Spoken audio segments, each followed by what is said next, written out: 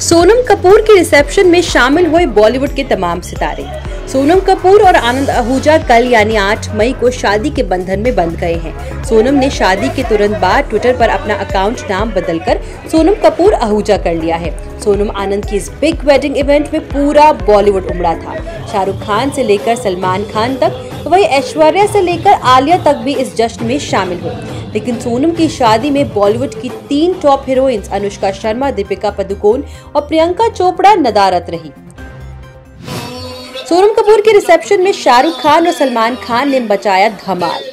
बॉलीवुड के अर्जुन कहे जाने वाले शाहरुख खान और सलमान खान ने सोनम कपूर की शादी में जमकर धमाल मचाया।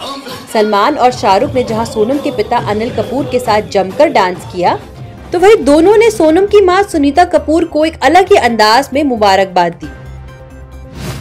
दिशा पटानी ने शेयर की अपनी hot video Disha Patani Bollywood की यंग और हॉट एक्ट्रेसेस में से एक है।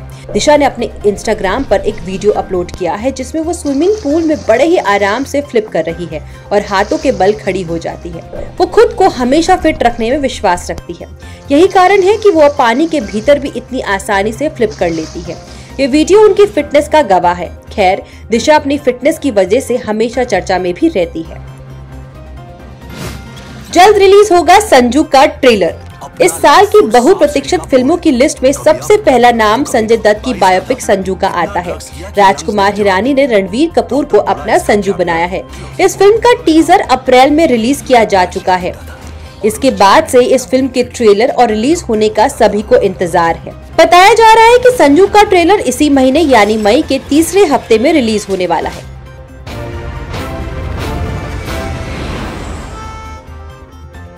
Hollywood movie Avengers the Infinity War ने बॉक्स ऑफ़िस पर धमाल मचाया। Hollywood movie Avengers the Infinity War दूसरे हफ़्ते में द जंगल बुक का रिकॉर्ड तोड़ने की तरफ़ बढ़ रही है।